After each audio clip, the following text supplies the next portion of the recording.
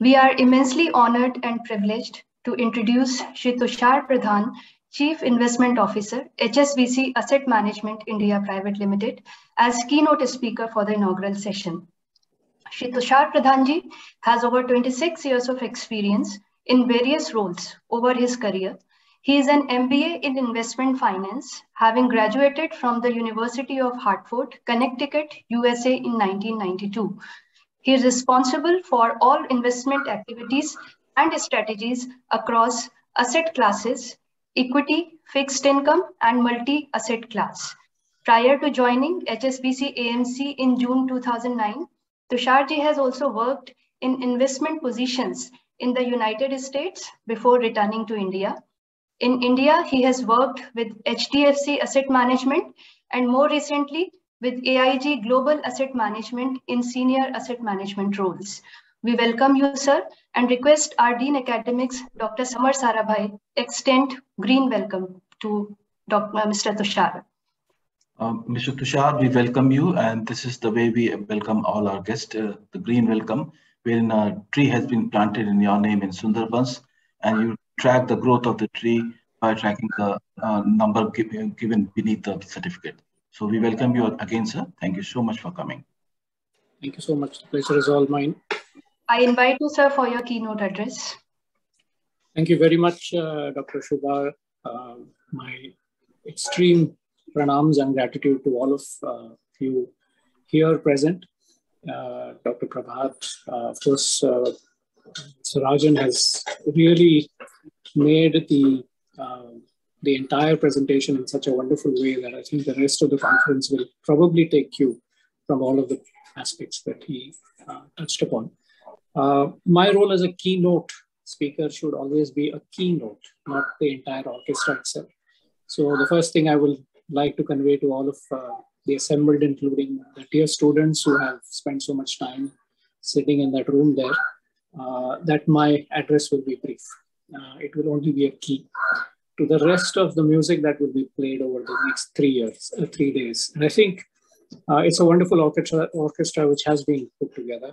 Uh, I will not dwell upon it so much, but just to highlight the fact that I wish to congratulate Dr. Sharad Jaipuria uh, because such a theme to be put together at such an early stage of this transition that we are talking about uh, is, is an immense uh, you know, feature of that dedication of, of how early this, this uh, thing has been spotted, especially for management students and for all of us together. I'd like to dwell upon the topic, and that's why I got really very, very interested in this conference. Uh, growth, innovation, uh, sustainability, wellness, and happiness. Uh, I cannot think of uh, you know a more, I would say, complex you know set of uh, things put together, and, and they do not really work well as a team. I will share my experience with you. When we talk about growth, it is generally about growth in revenues, growth in profits, growth in market share, growth in shareholder wealth, or whatever we call it as growth, in, at least my part of the business. When we talk about um, innovation, though, that's something else altogether. And I think I would like to you know, wish all of the young people who are going to go and make your careers in the future to tell you a, a very, I would say, non-popular truth is that innovation is not welcomed. It is generally, initially, always uh, a hindrance to me. So, uh, an example of you know very classic global example of that is the, the global company 3M, which I'm sure all of us know, the makers of those sticky yellow notes. Uh, the, the secret behind that glue, which actually binds or you know comes off very easily, was an error. It was an error committed by someone who was trying to formulate a new type of glue and then they realized that the glue doesn't really stick. So it was a failure. But actually, someone with the right kind of thinking made an application of that error into something which is a world beating success. So, what we really need is an acceptance of errors, an acceptance of mistakes, an acceptance of understanding that everything the world has produced and will produce ever will have some purpose. So the point is to figure out what the purpose is. And generally, when we come with knowledge, when we come with what we think we know, we do not see the wood for the trees. And I think this is something very important to highlight now that growth and innovation, while they may be put together in a sentence, may not necessarily mean the same thing. And I think what we need to generate is our thinking about these concepts and allow for these different ideas and concepts to be put together in a thing like this. And that's why, again, my congratulations to, to Dr. Jaipuria, to, to Mr. Jaipuria for this, this wonderful, uh, I would say, confluence of concepts. When I go to the third one, which is sustainability, and which uh, Mr. Mukund Rajan really, really spoke a lot about, and his fantastic experience so far. Has really uh, been the benefit of all of us to, to, to share. Is to understand that sustainability and growth really are at loggerheads, uh, if not uh, not really, I would say, complementary. So the fact is that, uh, and especially I as a practitioner, and, and he mentioned a, a, lot of these global asset managers, which I consider HSBC also as one, who are committed to climate change and to be able to transition from where we are to where we are going to be. My argument is that we are talking about end states we're talking about a time when all of this will be okay. But the transition is going to be very painful. For the fact, and as uh, our uh, you know, esteemed chief guest spoke about the fact that we need oil. Uh, we will continue to burn fossil fuels and we will continue to do that for a long time for the sustainability of our growth for, for what India wants to be $5 trillion in some time as a GDP nation. So which means that there is a lot of complexity to when we look at growth, when we look at innovation, and we look at sustainability together. There are always times that we will need to bring our hearts and minds to the conversation rather than being very adamant. We're saying this is right and that is wrong. And many times I find that internally, when we speak about this globally in our group, as well as I'm sure in most of these investing companies, is that where do we draw the line? Do I say that I will not allocate capital uh, to these businesses which are in transition, which are showing some sort of uh, path towards this transition. Uh, uh, at least give them the capital to ensure that they get there. Because if you dry them off of capital right away by having some sort of a standard feature about what is right and what is wrong, I think we're going to have a bigger crisis later on. And we're going to have a very, very bipolar world. So my encouragement to all of you is that you guys are going to actually handle these problems. We can only show you the path to where we are supposed to go. But how do you resolve this for yourself? For example, if you start your career in any of these companies and you're faced with these dilemmas, I don't think anyone is going to give you the answers. I don't think anyone is capable of giving you the answer simply because the answers don't exist today. But I would encourage you to focus on well-being and happiness in that team because it is really out of our inner thought processes, our inner selves, our hearts, that where the solutions are going to come from. They are not going to come from the outside. And I'm going to quote the, the guide of the Heartfulness Meditation uh, Institute, which I'm a part of and have been meditating for the last 20 years, is to show you that these answers, unless we really contemplate on it ourselves, they will never be answers which we will become. And I will uh, share, you know, one of his quotes that he mentioned that if you talk about intellect, you know, because that is rewarded highly in, in our world today, uh, that intellect has to really be sheathed or coached to think the right way, and that guidance has to come from the heart. And the example he gave is that suppose you are a highly gifted chemical engineer and you've figured out a fantastic way of synthesizing some chemical.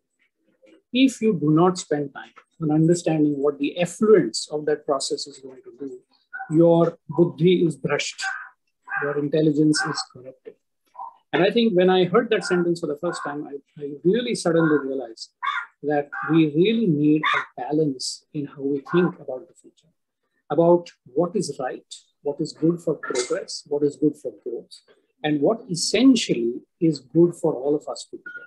And I think that's the reason why a country like India, which uh, came out with the concept of Vasudhaiva Kutumbakam, which means that the whole world is my family. Family, as in, you know, being part of a family, not just a village together, is very, very important for us to remember.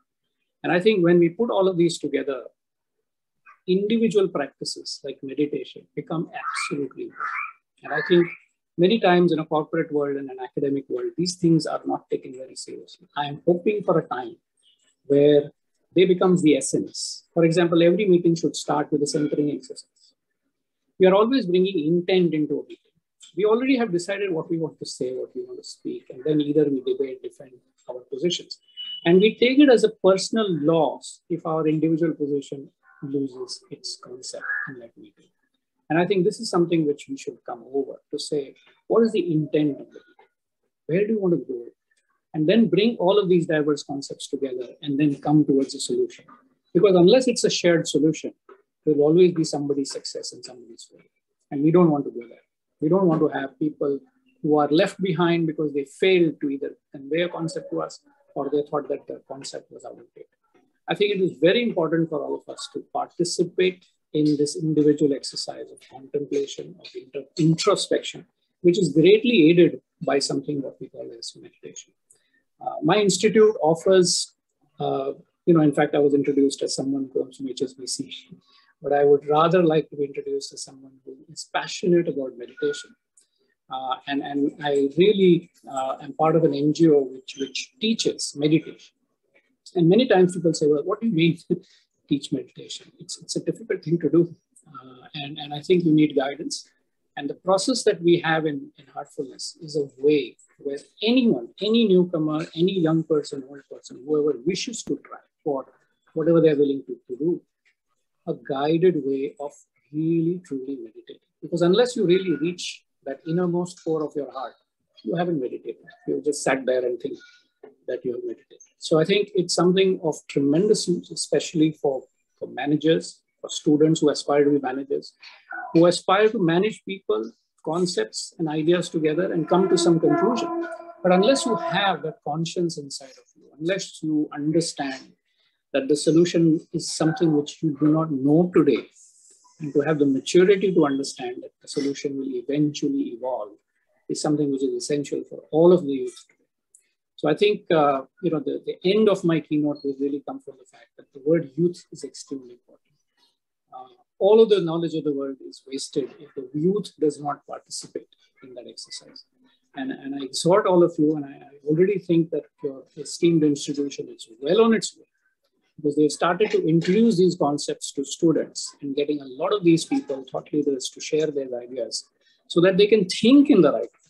Because thinking is the basis for everything that will evolve eventually. We think, therefore we are.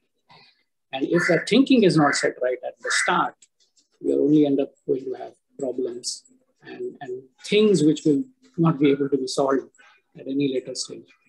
Uh, which I feel and I suspect the climate change problem has become. Nobody thought about it. And I think, just as the way of the last example I will give, is that initially what we thought was good has turned out to be bad. But that's not something that we get to, to really get disheartened. I think all what we need to do is to say, well, we have learned something. Now let us learn something more and go towards something which, which will benefit everyone together in the same way. It's not always possible. There will always be gives and takes. But I think the larger good is something which we all need to always focus on, whether we are in academia, whether we are in, in competition, in, in industry, whether we in asset management, wherever we go. It is something that we need to absolutely be, be very cognizant of. And I must say that mistakes uh, are something to really welcome.